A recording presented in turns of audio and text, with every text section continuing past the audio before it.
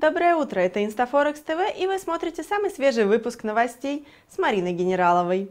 Одна из важных статистических публикаций вчерашнего торгового дня осталась трейдерами незамеченной. Речь идет об отчете статистического управления Канады относительно потребительской активности в марте.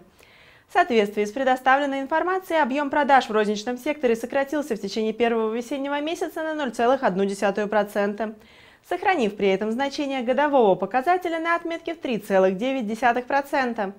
Большинство аналитиков, ожидающих данный отчет, прогнозировало рост индикатора на 0,2%. Тем не менее, как мы уже сказали ранее, неоправдавшиеся прогнозы не повлияли на торговые настроения участников валютного рынка. В паре с американским долларом канадский потерял всего лишь 10 пунктов и остался торговаться во флете около отметки в 1 доллар 9,15 канадского цента за 1 доллар США. Вырасти американскому оппоненту не позволили данные с рынка труда, где зафиксировали рост числа первичных заявок на пособие по безработице.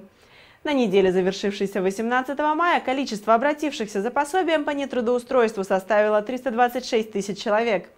Аналитики ожидали прирост на 312 тысяч американцев. Неделю назад Министерство труда США предоставило совершенно иную статистику. Число заявок оказалось минимальным за последние 7 лет – Такие данные обнадежили экономистов в завершении кризиса на рынке труда и в подконтрольности дальнейшего развития ситуации. Однако последний отчет дал повод сомневаться в поспешности таких оптимистичных оценок. На этом у нас пока все. Смотрите InstaForex TV, чтобы быть в курсе важнейших событий в мире экономики. Всего доброго, увидимся!